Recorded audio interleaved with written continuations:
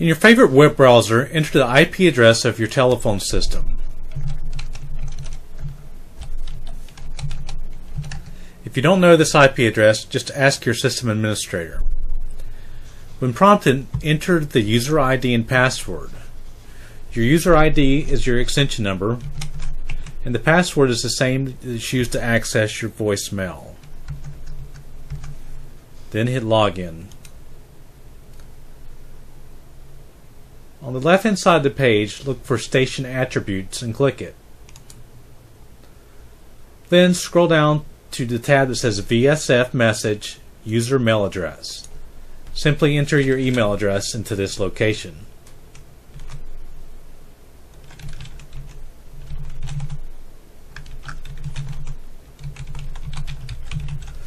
When you're done, hit save. Your voicemails will now be sent to the email address that you just entered.